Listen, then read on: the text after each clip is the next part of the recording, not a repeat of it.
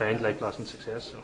Yeah, no, it's great to have so many people here who are so committed to uh, re-energizing themselves and reinventing themselves and focusing yeah. on success, not just in their own personal lives, yeah. uh, but in their businesses. And the future of the Irish economy is about us being able to identify and nurture and grow small business. And the people who are here are the very people who will make the new Ireland happen. You're here in the Red Cow in Dublin, and you've tried out the Terrasoz bed. And what are your thoughts on the bed? Absolutely wonderful. Got great relief from it. I have a back problem, and um, certainly got great relief. Looking forward to going back on it today, and I'll be back to Tom Ronan for some treatments in the near future. Wonderful relief and wonderful comfort from it. So you're at Life Lasting Success in the Red Cow in Dublin. What are your thoughts so far on the event?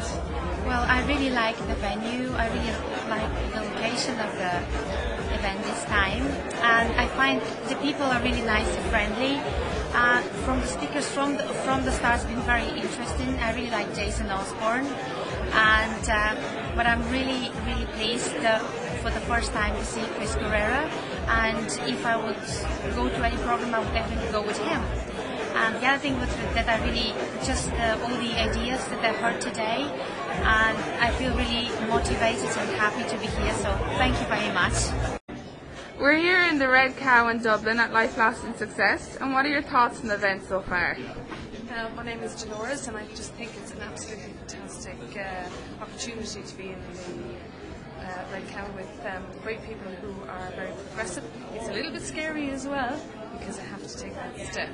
So next thing is now action, and, uh, and that's the success. Here we are at the Red Cow Inn in Dublin at the Life Lasting Success Seminar. What are your thoughts on the event? Um, it's really not the type of thing I would normally come to, but I have to say I'll definitely back, be back, and it's definitely something for everybody. That's it. Perfect.